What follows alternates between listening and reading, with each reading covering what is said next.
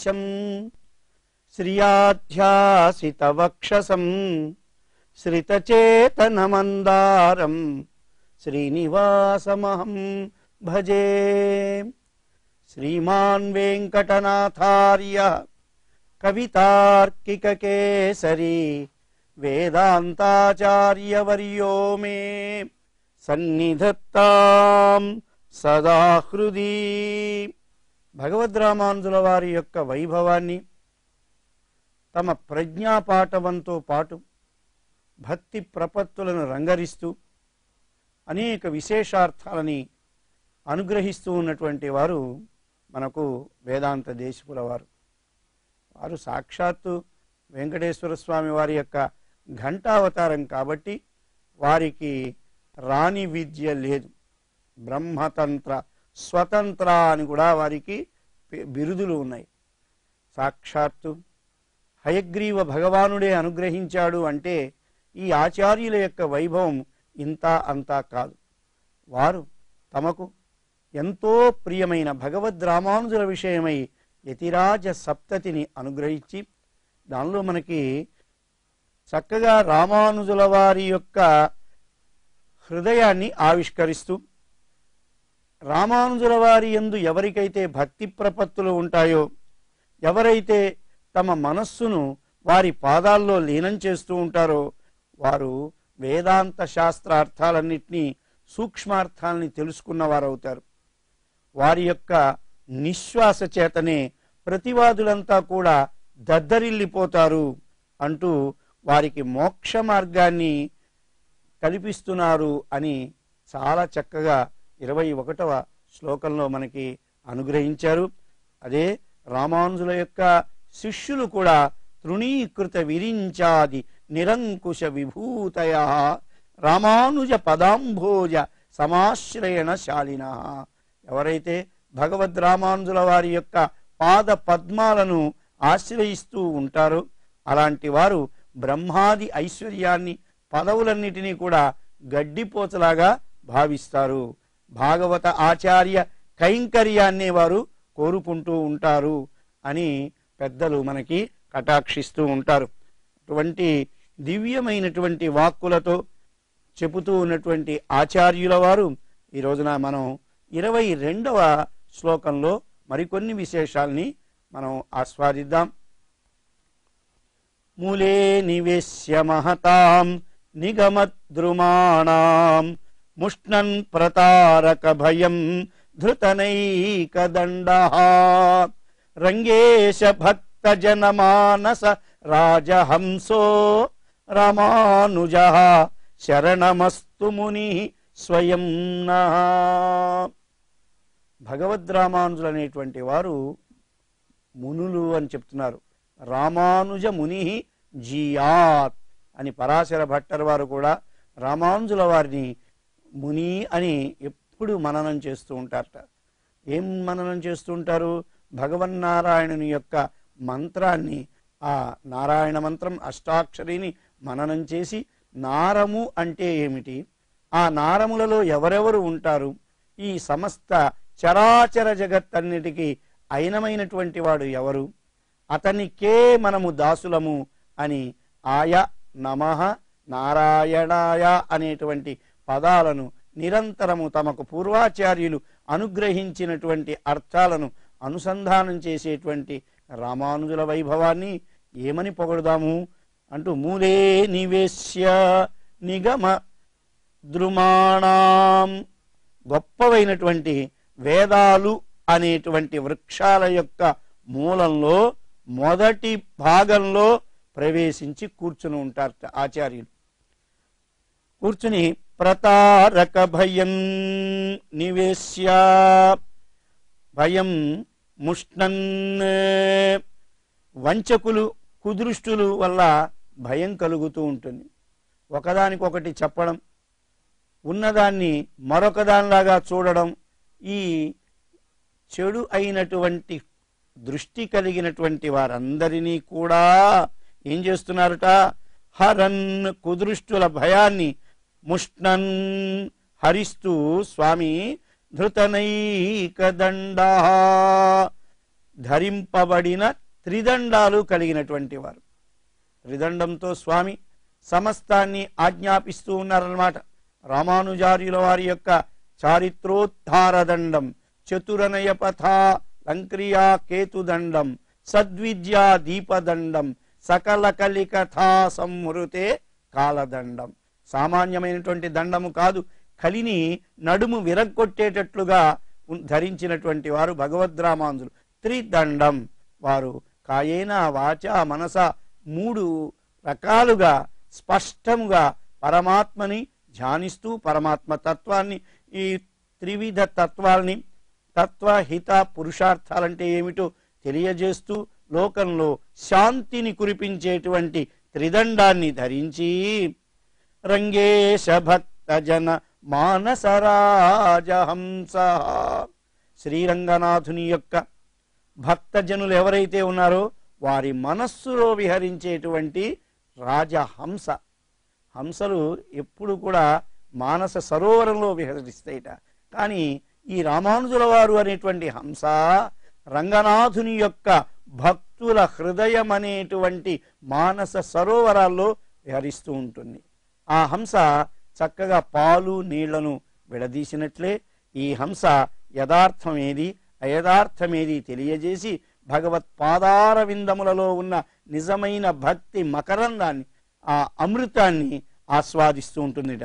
రామానుజ శరణమస్తు ముని స్వయం నహ వారే మనకు ఆ రాజహంస ఏదైతే ఉన్నదో భక్తుల రంగనాథుని యొక్క భక్తుల హృదయాంతరాలలో విహరించేటువంటి రాజహంసే నాకు రక్షకుడగుగాక అని రాజహంసగా చెప్తున్నారు. అన్నమాచార్య వారిది ఒక పాట చక్కని కీర్తన ఉంది. దిబ్బలు వెట్టుచు త్రేలినది దివో ఉప్పు నీటిపై ఒక హంస అని. హంస హంస అని చెబుతూ ఉంటే ఏమిటది? మామూలు హంస కాదిది. పరమహంస. ఏమా పరమహంస? స్వామి నిరంతరము కూడా భగవత్తత్వం అనేటువంటి క్షీర అంబోదిలో విహరించేటువంటి ఈ హంసటండి. హంసాస్తు శ్వేత గరుత చక్రాంగా మానసౌకస. రాజహంసాస్తు చంచు చరణై లోహితై సితా. అమరకోశంలో చెప్తూ ఉన్నారు. చక్కగా గతులు కలిగిన సామాన్య హంసలు తెల్లని రక్కలు గుండ్రంగా అంగము మానస సరస్సు నివసించే స్థానం కలిగి ఉండే పక్షులు ముక్కు కాళ్ళు ఎర్రగా ఉండి శరీరం అంతా కూడా తెల్లగా ఉంటాయి. అయితే రాజహంస ఇంకా అందమైనటువంటిది. నా బధ్నాతి హంస కదాచిత్ కర్దమాంబసి. హంస బురద నీటిలో ఎప్పటికీ ఉండదు అది అలాగే రామానుజులు కూడా పిరప్పాం కొల్లావరు వినైమాయవన్ సేత్తల్ పొయ్ నిలత్తే అழுందార్ సంసారమనేటువంటి కర్దమంలో ఉండలేక పరమహంస పరివ్రాజకులయ్యారు. బురదలో తిరిగేటువంటిది కాదు కదా హంసలు ఎప్పుడు ఎక్కడ విహరిస్తాయి? ఓ మానస సరోవరంలో. శ్రీమన్నారాయణ్ణి హృదయంలో భావిస్తూ భక్తుల హృదయాలలో శ్రీమతే రామానుజాయ నమః అన్నట్లుగా విహరిస్తూ ఉంటారట. హంస ఏ విధంగా క్షీరాన్ని నీటిని విడదీస్తుందో యతిరాజుల వారు సారాసార మిశ్రితమైనటువంటి శాస్త్రాలన్నింటినీ కూడా విడదీశారు. విడదీసి చక్కగా సారతమమైనటువంటి శాస్త్రమేదో దాన్ని గ్రహించారు.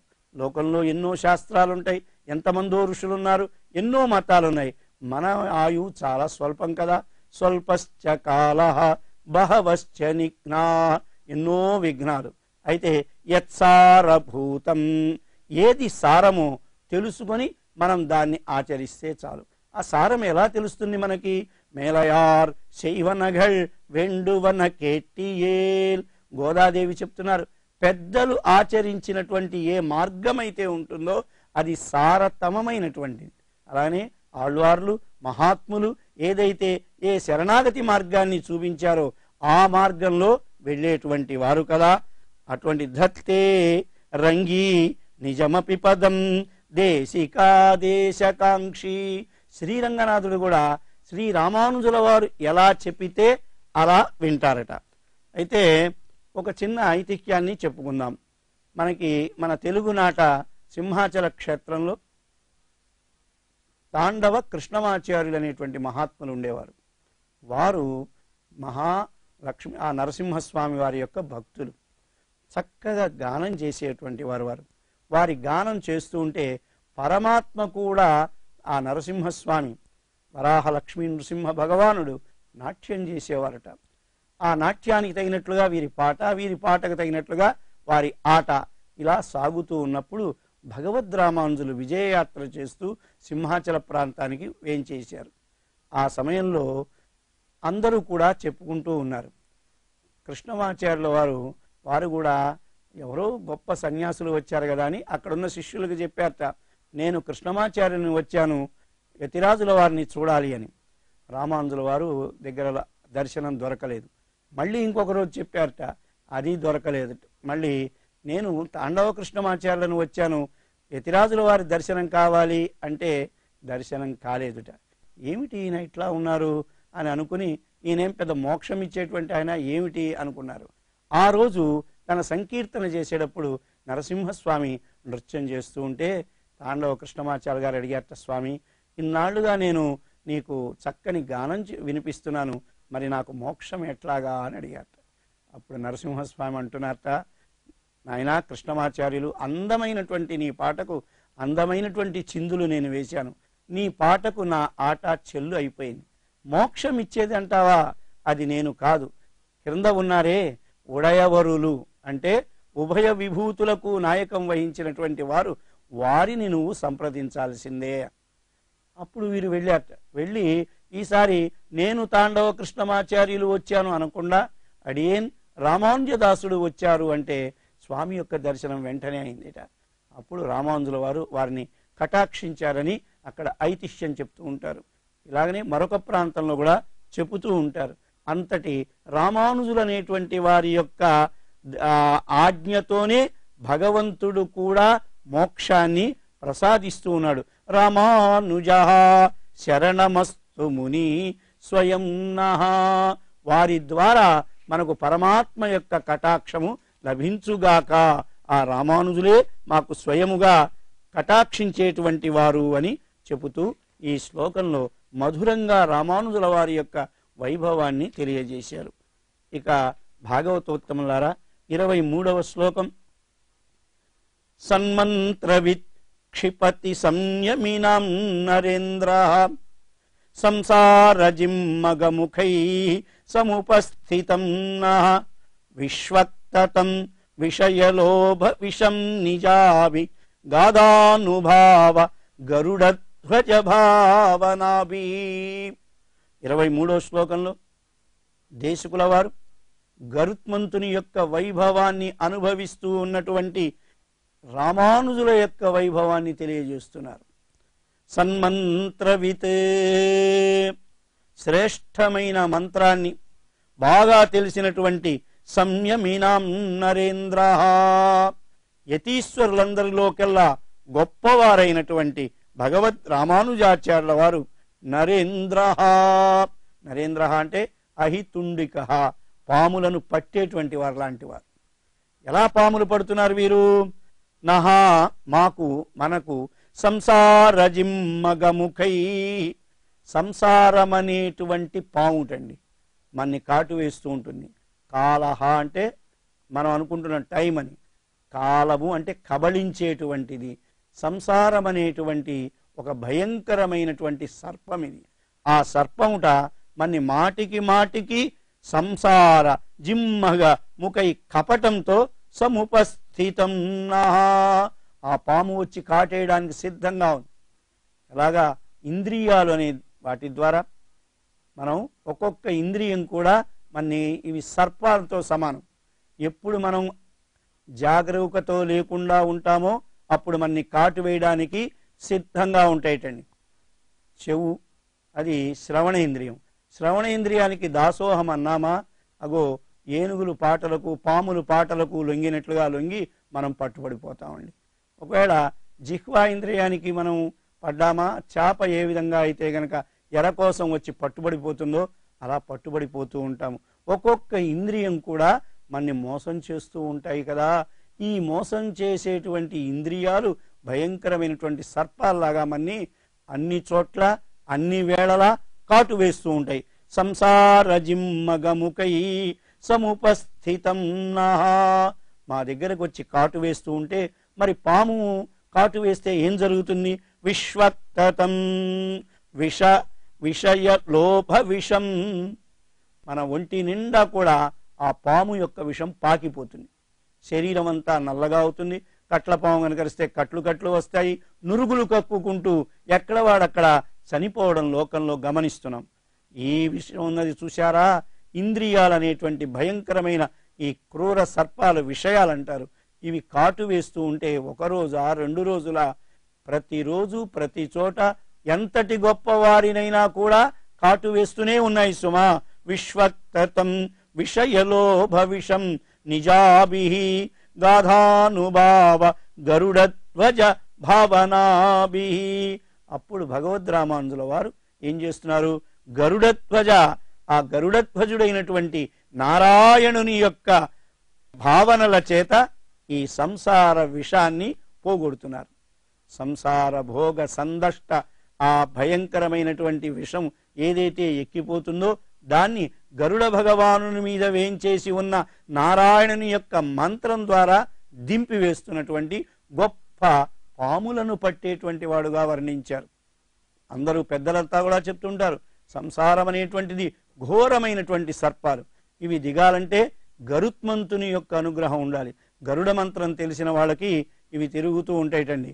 గరుడ దండకంలో చెప్తారనమాట విచిత్ర సిద్ధిద సోయం వెంకటేశ విపశ్చిత గరుడధ్వజ తోషాయ గీతో గరుడ దండక. ఆ పని వేదాంత దేశకుల వారు గరుడ దండకంలో చెప్తారు. ఏమిటిట? ఎవరైతే గనుక గరుత్మంతుని యొక్క దండకం వారు రాశారు జయ పన్నగ సురాదీశ్ అంటూ గరుడం నిఖిల వేదాదిరూఢం ద్విషత్పీడనోత్కంఠిత కుంట వైకుంఠ పీఠీకృత స్కందమీడే జయ గరుడా సుపర్ణ దర్వీకరాహారా అంటూ వారు ఒక దండకాన్ని కృప చేశారు వేదాంత దేశకుల వారు ఈ దండకం కనుక మనం ప్రతినిత్యం చదివితే ఏమవుతుందంటే విచిత్ర సిద్ధిదస్సోయం వెంకటేశ విపశ్చిత. విచిత్ర సిద్ధులన్నీ కూడా మనకు కలుగుతాయిట. గరుత్మంతుని యొక్క కృపచేత ముఖ్యంగా సర్ప దోషాలన్నీ కూడా ఎగిరిపోతాయన్నమాట. కాబట్టి ప్రతినిత్యం గరుడ దండకాన్ని భాగవతోత్తములు సేవిస్తూ ఉంటారు.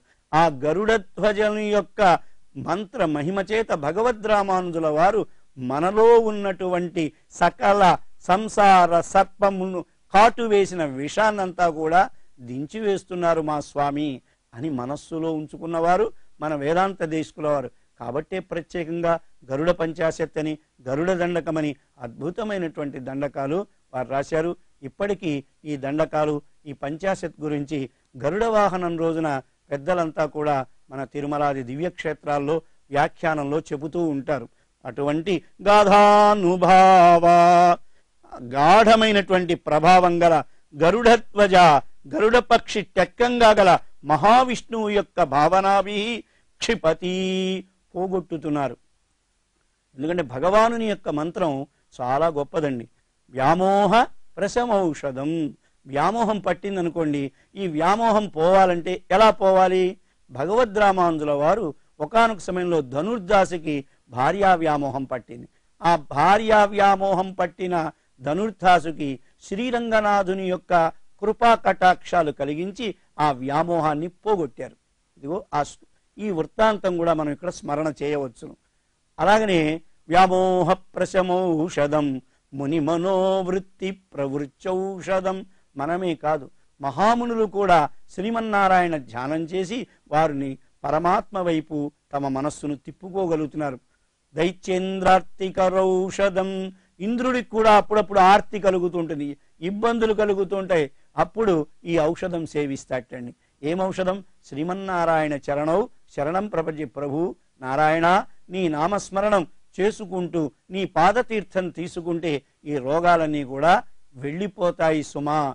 అకాల మృత్యు హరణం సర్వవ్యాధి నివారకం సమస్త పాప క్షయకరం శ్రీ మహావిష్ణు పాదోదకం పావనం శుభం. మహావిష్ణు పాదోదకం తీసుకున్నట్లయితే మనకి ఇన్ని లాభాలు కలుగుతాయి. ప్రతి దేవాలయంలో ఈ మంత్రాన్ని చదువుతూ ఉంటారు. అకాలంలో మృత్యువు కాస్త హరించబడుతుంది సర్వ వ్యాధులు పోగొట్టుకుంటాము. సమస్త పాపాల్ని కూడా పోగొట్టుకుంటాము అని ఆది వ్యాధులకు విరుగుడుగా ఈ ఔషధాన్ని స్వీకరించేట్లుగా భగవద్ రామాంజుల వారు మనకి కృప చేస్తూ ఉన్నారనమాట భాగవతోత్తములారా ఈ భగవన్మంత్రాన్ని అనేకం ఉన్నా కూడా వాటిల్లో నారాయణ మంత్రం యొక్క ప్రభావంని బాగా ఎరిగినటువంటి వారు మన రామానుజులు. ఈ నారాయణ యొక్క ప్రభావం మాత్రం సంసారంలో ఉన్న ఆర్తాహ విషణ్ణాహ శిథిలాశ్చ భీతాహ ఘోరేషు చ వ్యాధిషు వర్తమానా సంకీర్త్య నారాయణ శబ్దమాత్రం విముక్త దుఃఖాహ సుఖినో భవంతి అని మనం ప్రతినిత్యం విష్ణు సహస్రనామ ఫలశ్రుతిలో చదువుతున్నాం. ఎటువంటి ఆర్తులైనా విషణ్ణులు దుఃఖాల పాలైనటువంటి వారైనా శిథిలులైనా శైథిల్యం పొందినటువంటి వారైనా రకరకాల రోగాల్లో భయంకరమైనటువంటి పరిస్థితుల్లో రుణబాధల్లో చిక్కుకున్న వారైనా సంకీర్త్య నారాయణ శబ్ద మాత్రం నారాయణుని యొక్క శబ్దం విష్ణు సహస్రనామ పారాయణ చేసినట్లయితే విముక్త దుఃఖా సమస్త దుఃఖాల నుంచి బయటపడుతూ ఉంటారు. అని చెప్పారే. ఆ మంత్రాన్ని ఆం తీసుకొని భగవద్రామాంజులు సంసారంలో ఉన్నటువంటి సర్పాలు కాటు వేస్తే ఆ మంత్రంతో మనందరి యొక్క రోగాల్ని పోగొట్టేటువంటి గొప్ప వైద్యులులాగా ఉన్నారు అని ఈ శ్లోకంలో వేదాంత దేశకుల వారు యతిరాజుల వారికి దాసోహం సమర్పించారు. వేదాంత దేశకుల వారి యొక్క ఒక్కొక్క శ్లోకం కూడా మధురాతి మధురం ఒక్కొక్క కావ్యంతో సమానమని మనం తెలుసుకుని వాటిని అనుసంధానం చేసుకుందాము. निगमान्तमहादेशिकाय नमः।